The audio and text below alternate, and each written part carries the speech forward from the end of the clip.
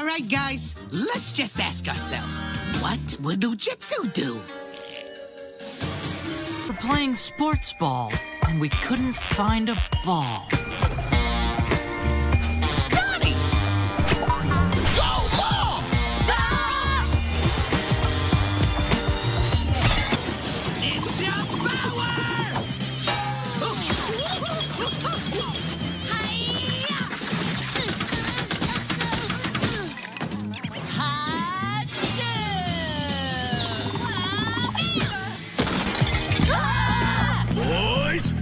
What is going on?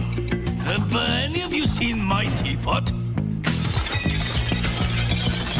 Uh, yeah, Dad, I'm sorry. It's, um, right here?